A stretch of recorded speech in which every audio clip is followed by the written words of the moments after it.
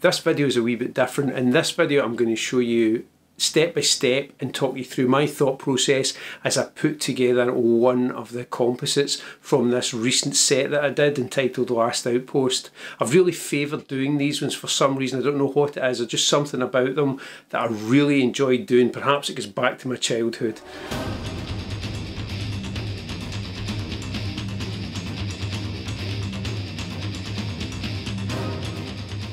So what you're going to see is you're going to see my workflow recipe of Photoshop, Oniric and Luminar and where each one for these images plays its part.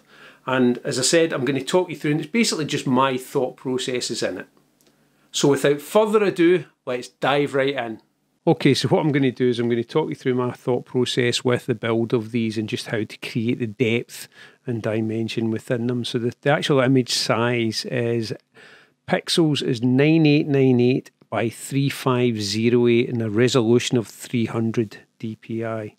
So the first layer, first layer was a sky that I had in my collection from Ayr Beach.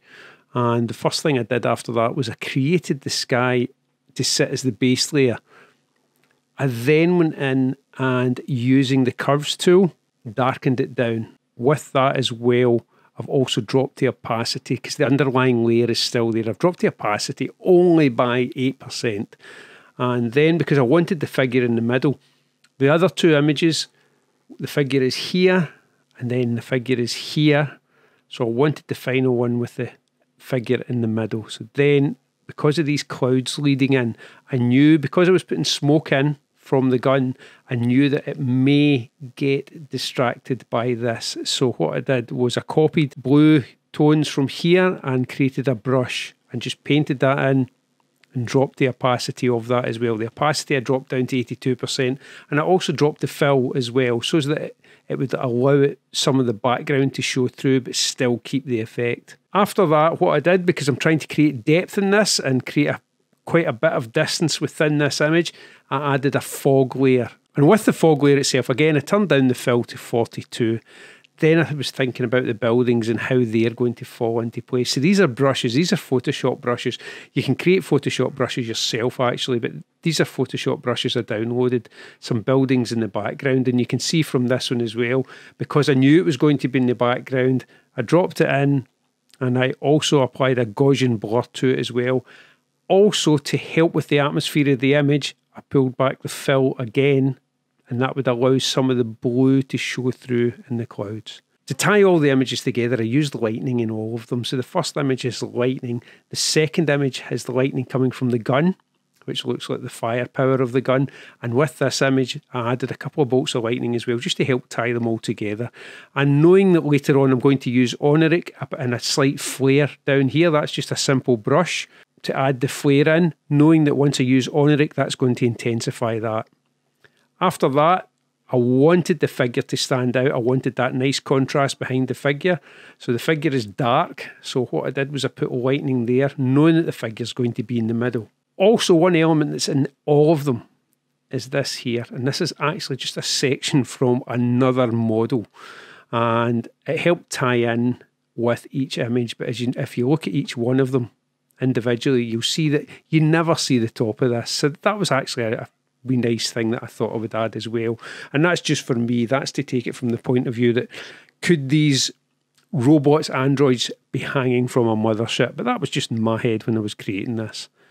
Then I started to add more buildings in, and you see these buildings are quite dark and they don't have as much Gaussian blur added I think if I remember correctly, I only added about 1.8 of a Gaussian blur to these. But these are darker, and the reason they're darker is because they're coming closer to us. So there's more contrast as things move closer to you. So you're thinking photographically as well when you're putting this together. Next, I added in that back building there which doesn't have as much Gaussian blur, although it's in the same level as this one, it doesn't have as much Gaussian blur applied to it. Again, creating depth. Every time I'm doing this, I'm thinking about creating depth. Atmosphere is then added by the smoke brushes, and that's just painted across. And you'll see it sits in front of this one and this one as well, but I've still more buildings to come in here. I'm trying to create a scenario with these three images in this set, and so I used the same elements in each one nearly. So the foreground elements, mid to foreground elements, have been dropped in now, and that again is just to help tie all the images together. So you can see that there's parts down here when you're building it that just don't match up, but knowing that there's other elements going to be added into this, it doesn't matter at the moment. First of all, we add the orange because I wanted that orange just to come through everything. We're complementing the blue here as well. So the blue and the oranges in every other image as well. So that again tying the images together. Knowing that I'm going to use Oniric later on, I've added a glow in here. Oniric will take care of that, although you can still see through it. Oniric will take care of that. Then the figure starts to drop in. So you can see how this image is built up and the figure is in the foreground. This glow will be emphasised in Oniric, which will come round some of the areas of the image as well. And we can't just put the figure there and have no effect on its environment. So what I did was I created a colour fill layer. And you can see it only affects certain areas of the image. The colour for the colour fill area was chosen from around here. And then it was clipped to the layer of the Android. Then a hide all mask was applied and that allowed me just to paint in areas that I wanted the light to affect, like just round here and down here and down the back barrel of the gun. We don't want it in the front or down here or anything because the light is coming from behind. So that's why it's only in certain areas. And it's just to help tie it in to the image because if I turn that back off, it's a stark contrast. We need to blend it into the image as well, thinking about how light works. After that, more ambient smoke is applied Again, creating depth. This time it's a painted over everything. Next one is going into the smaller points.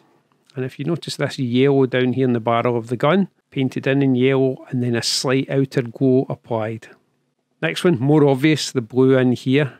The next is the gun smoke. And so we add that in with one brush, chosen from around this area here and then adjusted just to lighten it up slightly because I needed it to stand out from the background. Then doubled it up and lightened that using curves. The next one was to reflect the light from here onto the smoke. So what I did was I copied the layer up again, then changed the hue saturation of the layer more to a blue to match this, but not directly matching it, and then painted it in slightly with that. I used the hide all mask and then painted it in slightly. Finally, with the smoke, one band of smoke coming up. Just again creating depth through the entire image. The next elements was to intensify the light and the glow of the entire image, and that's why I used Oniric to do that. It's really quick when it comes to doing it. So therefore, you see the first one in, and you'll notice the differences down here. The next one again intensifies it even further, but within chosen areas now. Because when Oniric comes in, it comes in with a mask, and you can opt to paint in or paint out certain elements again. Same as Photoshop, just creates a, a reveal all mask. The next one was the lighting streaks coming from here and here, and there is actually a couple up here, but I've left them really, really faint. I then doubled them up just to give more intensity to it. The next thing was I used Shift, Alt, Control, and E, or Shift, Alt, Command, and E, created a layer, took it into the camera raw filter in Photoshop, added a vignette, brought it back out, and then put a hide all mask on and only painted the vignette into areas that I wanted it to appear in. So I'll flick that one back on and off. So you'll see it doesn't go over the entire image, only goes over certain areas. After that, I wanted to intensify more light in the lightning down here, down here. So that's the image nearly coming together. So the final step now was for me was for to take it into Luminar. And once it was in Luminar, that's where I applied the Bakersfield LUT, which ties all three images together. It's used at different intensity in all three layers, but the, the LUT is the Bakersfield one, which helped tie all these together for me. I also used the AI tools to enhance some of the Android itself. And that's how this image came together. Same process for the rest though.